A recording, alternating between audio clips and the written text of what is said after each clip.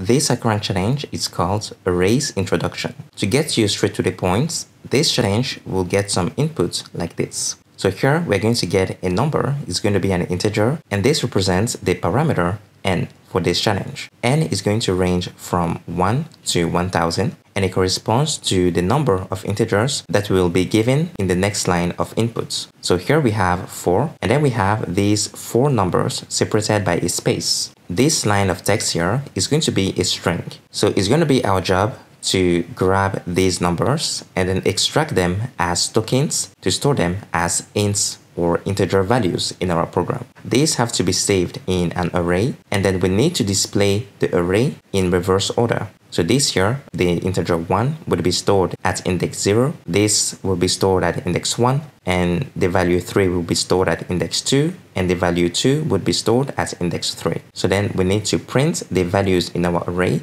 in reverse order. For this challenge, we need to write the entire code by ourselves. So here I've written even the headers myself. So this here is for inputs. This is the SS string. I'm going to use that to extract tokens from this line of text. Then I have a string here because like I said, this is a line of text and I need to accept all the values in a string variable and this here is the limits header just because I want to ignore the characters at the end of my string. But you don't need to pay much attention to this here. And then here I have a function that I'm creating myself and it's called reverse array. So you can give this function any name that you want because you're writing your own program by yourself. But this function takes in two parameters. So the first one is going to be a pointer to an array and it has to be an int array and this here is the size of the array. For those of you who are a bit familiar with C code instead of C++, you'll know that usually this is one common way of passing an array to a function.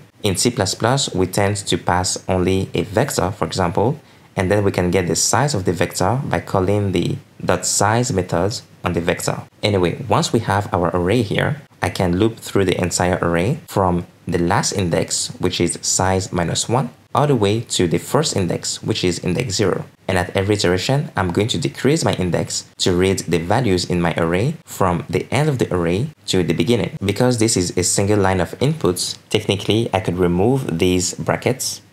And then now we have the main function. In the main function, I have an integer variable called n. This will be for the first line of inputs, which is an integer, and it's also for the size of the array. So here I get some inputs for n, then I ignore the rest of the characters in my stream. To make sure that the value of n matches the constraints, I verify here if the value of n is between 1 and 1000. I'm going to create an array of integers of size n. This is the i variable, and I'm going to use that to go through my array. Now I need to get the second line of inputs, so I'm getting this string variable here, and then here I'm getting the full line of inputs using the getLine function. Once I have my full line of inputs, which in this case is going to be 1432, I can have a num variable here, which I'm going to use to store the tokens when I extract every integer inside my string. So to extract the tokens, I'm going to use an input string stream object that I'm calling ISS and I'm passing it my string variable. So the string variable now would have 1432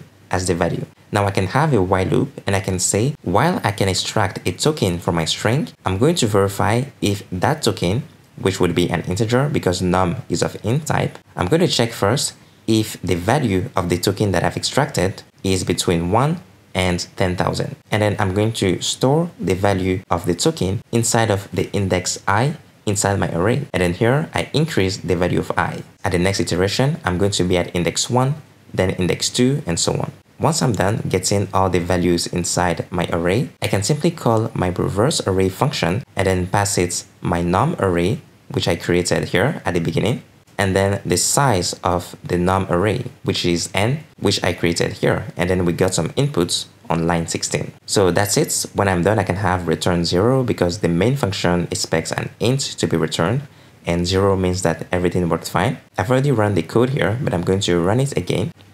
We've passed the test case, so I'm going to submit this code. We have 9 test cases and we've passed all of them. So that's it guys for this challenge. It was called Arrays Introduction. If you like my video, please subscribe to my channel, get the code on my GitHub, and I'll catch you next time.